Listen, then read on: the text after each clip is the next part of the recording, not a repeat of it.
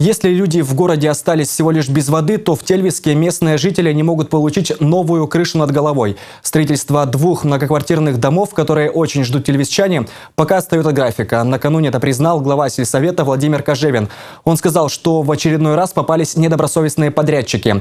Эта проблема существует, пожалуй, почти в каждом населенном пункте региона. Первый 24-квартирный дом возводит бригада предприятия «Наринмар-строй». Сейчас здесь идет монтаж наружных стен, их покрывают утеплителем, а также заливают полы. И хотя строительство уже идет с задержками, в новый утвержденный график, говорит глава телевисочного сельсовета, вроде как укладываются. Сдать новый дом рабочие пообещали в конце этого года. А вот второй дом, правда уже 12-квартирный, возводит «Наринмар-Окргаз».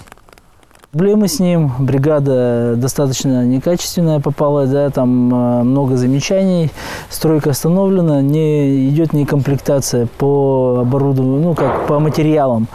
Укргаз в прошлом году начал осенью строить дом. Уже от графика отстает? Отстает от графика, да. Обещали когда построить? Э, Декабря этого года Не успеют. не успеют. Для села новые квадратные метры принципиально важны. Три года назад в Тельвиске сгорел дом, его жильцы до сих пор не получили квартиры.